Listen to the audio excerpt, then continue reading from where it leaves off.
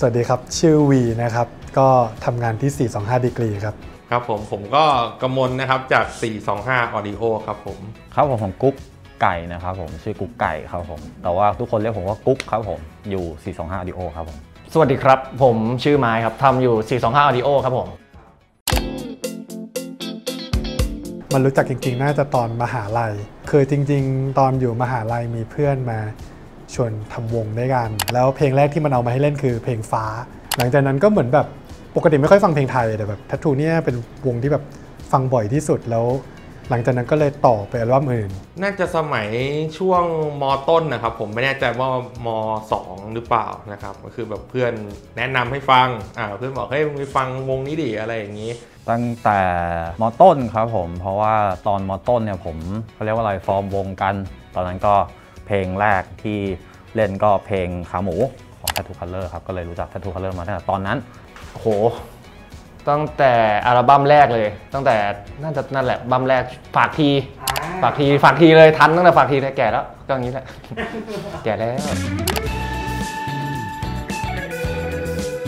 ที่เขาออกไอ้นั่นมาอะไรอะจงเพลาะใช่ปะโอ้ยชอบมาก ไปรู้ story ที่มายิ่งชอบใหญ่เลย ตั้งแต่ชื่อวงก็อะไรคือสักสีใช่ปะ Tattoo คือสัก Colour คือสี peak มากวงบ้านเลยเนี่ย แบบตั้งชื่ออะไรเงี้ยคุณคุณดีมากอะไรเงี้ยเออชอบชอบมาก ตอนแบบจงเพราะอัลบั้มมาเพื่อนบอกมึงฟังอัลบั้มใหม่ยัง บอกอัลบั้มอะไรวะแบบจงเพราะอัลบั้มที่ 8เขา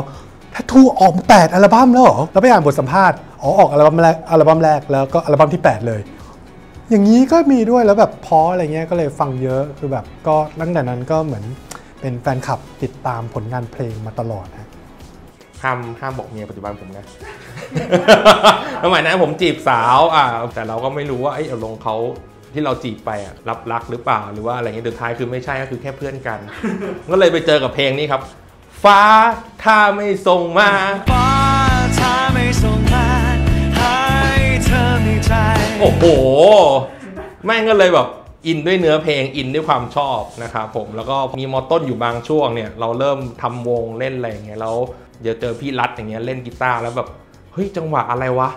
ลงโคตรยากเลย ขึ้นยากลงยากเข้ายากมากเฮ้ยมันไม่ใช่ที่เราเคยมาก่อนแล้วเราแบบรู้สึกแกะยาก เราก็เลยนับนับถือพี่เขาว่าโอ้โหแม่ง ถือว่าเบอร์ต้นๆของประเทศไทยที่แบบกีตาร์เก่งมากๆ ก็คืออินอินด้วยเนื้อเพลงก่อนแล้วมาอินด้วยกีตาร์อีกทีหนึ่งคือเพลงแต่ละเพลงเขาอะคือแบบฟังแล้วมันมีความสุขครับผมแล้วก็เนื้อเพลงของเขาอะ ใช้ภาษาง่าย แล้วก็มันอยู่ใกล้ตัวเราอะไรเงี้ยฟังแล้วรู้สึกแบบเราเราอินกับพวกเขาได้อะไรเงี้ยแล้วก็เพลงแต่ละเพลงที่เขาเล่าอะไรเงี้ยก็เป็นเรื่องที่แบบใกล้ตัววัยรุ่นมากๆ แล้วก็เป็นแบบเป็นเรื่องที่แบบวัยรุ่นทุกคนแบบต้องเจออะไรเงี้ยครับอืมด้วย character ของพี่ๆในวงด้วยส่วนหนึ่งแล้วก็เป็นวงป๊อปที่ซาวไม่เหมือนชาวบ้านชาวช่องเขาในยุคสมัยนั้น เป็นวงป๊อปที่เท่ที่เรารู้สึกฟังแล้วมันรู้สึกมันเท่กว่าชาวบ้านเขาเพราะเราเป็นคนเล่นดนตรีอยู่แล้วอะเราจะรู้สึกว่าเพลงเขามันจะมีอะไรซ่อนอยู่เสมอ ไม่ว่าจะเล่นเครื่องอะไรก็ตาม รายละเอียดเขาจะเยอะ จะมีแบบวางยาใช่ใช่วางยาเสมอ คอร์ด tension ใส่แบบ minor nine major seven minor seven อันเนี้ยเรารู้จักครั้งแรกก็เพราะวง Tattoo Color เลย เพลงฟ้าครับ เพลงฟ้า ฟังฟังยิ่งกว่าเพลงชาติอีกครับตอนนั้น กดดันด้วย ปากปากดีไง เขาบอกเฮ้ยมึงเล่นได้ไหมเบสเฮ้ยเดี๋ยวกูฝึกก็ได้อะไรเงี้ยโอ้ชิบหายอะไรเงานกลางคืนแบบอะไรวะอะไรวะโอ้แล้วแม่ยากนะพี่ ผมไม่รู้คนอื่นเล่นเป็นไง ยากอยู่นะ ไม่ได้เล่นง่ายเลยจะร้องไห้ตอนฝึกอะนิ้วได้บวมหมดเลย แต่ชอบครับรู้สึกมีความทรงจำดีๆกับเพลงนี้ ถ้าณเวลานี้จริงๆยังก็ยังชอบเพลงอันเนี้ยขาหมูอะมันจะมีความจังหวะเร็วๆหน่อยแล้วเนื้อเพลงมีการแบบ เสียดสีล้อเลียนอะไรอย่างเงี้ยเออแบบกูเป็นเมืองพุทธไปเล่นการพนันเนี่ยกูก็ยังเป็นเจ้ามือหวยกูบอกนู่นนี่นั่นเนี่ยกูก็ยังแดกขาหมูอะไรอย่างเงี้ยเป็นความฟันทาสกันเอออยู่ในเพลงแล้วแบบเออมันสนุกดีแล้วก็ด้วยจังหวะเพลงด้วยอะไรให้มันเร็วมันอะไรอย่างงี้ครับผมชอบรักแรกพบครับผมสวยงามที่สุดเลยเมโลดี้ชอบเมโลดี้เพลงครับผมเพราะว่าเวลาทำงานไปก็เวลาเวลาคุณไม้เล่นกีตาร์ในห้องอะไรเงี้ยบางทีแบบเฮ้ยไม้รักแรกพบดีกว่า ก็จะชอบร้องเล่นกับมันแบบว่าใครเครียดระหว่างทำงานอะไรเงี้ยอ่าแค่นั้นจริง ๆ ครับอัลบั้มตรงแนวตรงแนวเอ้ยลึกนะครับเนี่ยลึกลึกชอบชอบชอบเพลงนี้ชอบเพลงนี้ มันเป็นเพลงอะคูสติกง่ายๆ ที่มีแค่เสียงพี่รัฐกับกีตาร์แล้วเนื้อเพลงมันตรงกับกับเรา เรารู้สึกว่ามันมันมัน relate กับเราได้ มันตรง character เราเราก็เลยชอบเพลงนี้ที่สุด ผม เป็นแฟนคลับลับๆพี่ๆนะครับ ก็อยากให้สร้างสรรค์เพลงดีๆ ผมว่าผมว่าไม่ใช่แค่ผมอะหลายคนมีความทรงจำดีๆ กับเพลงพี่ๆเยอะอะไรเงี้ยแบบมันเป็นสีสันของชีวิตวัยรุ่น กูแก่ขนาดนั้นเลยเหรอเนี่ย ครับ แต่ว่าแบบมันเหมือนแบบมันเป็นสีสันอะไรเงี้ย แล้วแบบผมเชื่อว่าแบบทุกคนแบบชื่นชอบผลงาน อยากให้แบบพี่ๆแบบทำเพลงแบบนี้กันต่อต่อไปเนี่ยผมก็จะคอยติดตาม อุยจะได้เจอด้วยอะตื่นเต้นมากเลยอะนะครับประมาณนี้อยากจะฝากบอกว่าก็ยังติดตามผลงานพี่ๆอยู่นะครับผมคือจริงๆ ก็มีอยู่ช่วงหนึ่งเราพูดตรงๆ ก็คือเราเริ่มลืนเลือนหมายถึงว่าลืมลืมพี่เข้าไปบ้างแต่พอมาเปิด Tik t o อกดูเห็น มีเพลงที่ติดเข้ามาเนาะคนทำคลิปอย่างเงี้ยก็ใช้เพลงพี่เข้ามาทำคลิปแล้วก็เฮ้ยเออว่ะเราเคยฟังแททูเคยชอบนี่นาก็เลยมาย้อนฟังก็เจอพี่ๆทำ YouTube ทำอะไรแล้วแบบ เฮ้ยพี่ๆเขาดูสนุกว่ะดูแบบไม่หยิ่งดูไม่อะไรเลยก็เลยแบบยิ่งชอบแบบจากที่ชอบอยู่แล้ว มันยิ่งเพิ่มความชอบเข้าไปอีกฝากบอกฝากบอกพี่รัฐก็ถ้าเกิดว่าไม่มีเพื่อนกินเหล้าชมผมได้ครับ กินได้ครับกินรีเหมือนกันครับผมรีเจนสู้ ก็อยากให้ทำเพลงต่อไปนะครับ แล้วก็กินเหล้าเบาๆลงบ้าง จะได้อยู่กันไปนานๆนะฮะพักพักบ้างตับเติบอะไรเนี่ยก็พักกันบ้างนะครับ แก่กันแล้วเราก็ต้องบรรเทากันลงบ้างนะครับครับ พอแล้วก็ เอาเหล้ามาซิเอาเหล้ามาซิเอาเล่ามาสิ ดีๆ ทั้งนั้น โอ้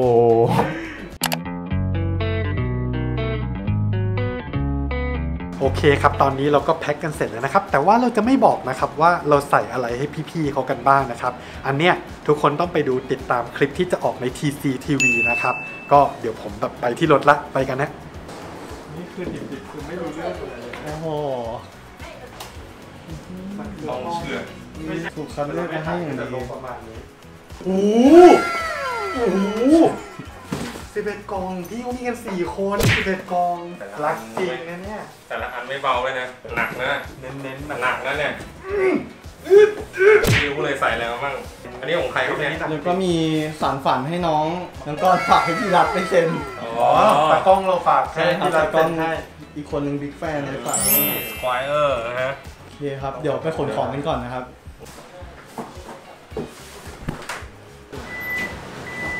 ใช้นิ้วยิ่งใหญ่มาก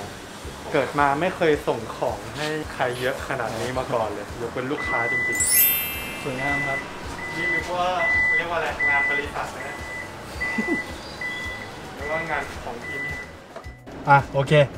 พร้อมแล้วครับ ไปครับ ไปไหน ที่ไหนนะเลนฮิลครับเลนฮิลเลนฮิลเลนฮิลสุขุมวิท77อีนี่สิบเดี๋ยวทีมงานขอไปหาที่ไปก่อนนะครับครับผม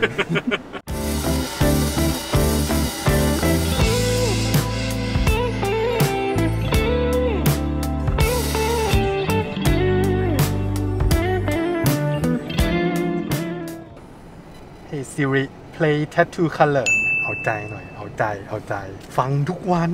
ลืมตาตื่นฟังก่อนแปรงฟันนี่จริงทัตทูเหรอครับ ใช่ครับ ชัวร์แน่นอนเอเอ้ยตอนสมัยมหาลัยอย่างกับเพลงชาติ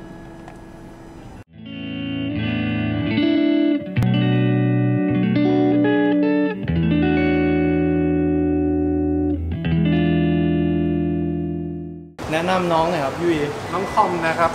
marketing ที่เขาจับได้ว่าผมจะเป็นคนขับรถแล้วเขาไม่ยอมมาด้วยกัน บ้านใกล้เขาบ้านใกล้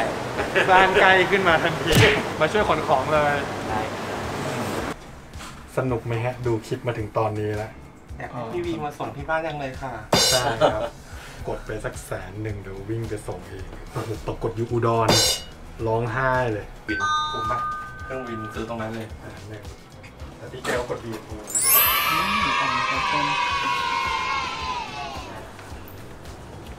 ้องประชุมใหญ่ตื่นเต้นแล้วอะตื่นเต้นแต่ทุกคนฟังเพลงมาแต่เด็กนี่ก็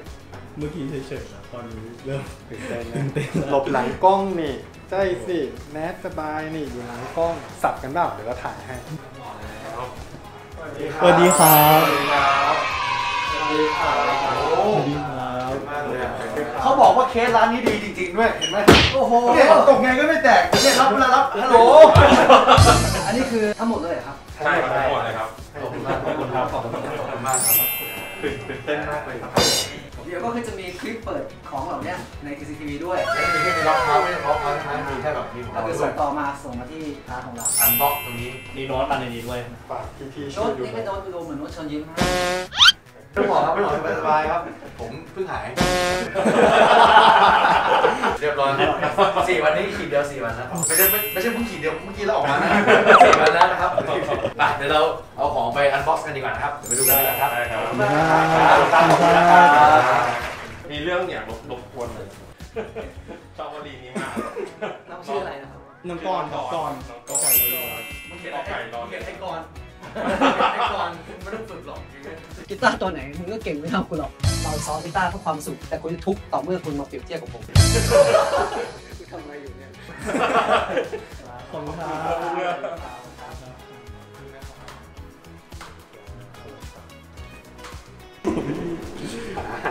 ใช่ไหมพี่คิดไหมครับพี่คิดไหมครับ ทุกคนก็ไปรอติดตามดูกันได้นะครับ บอกเลยว่าอันนี้ ส่วนตัวของทีมงานสีสองข้านล้วนๆครับ ถามว่าเกี่ยวเลยเคสไหมไม่เกี่ยวอะไรเงี้ยแค่ชอบพี่เขาส่งมันนี่คือเหมือนส่งของขวัญให้ทุกคนนะครับ ยังไงก็ไปติดตามดูได้นะครับ ECTV นะครับ ไปเอาใจช่วยพี่ๆเขากัน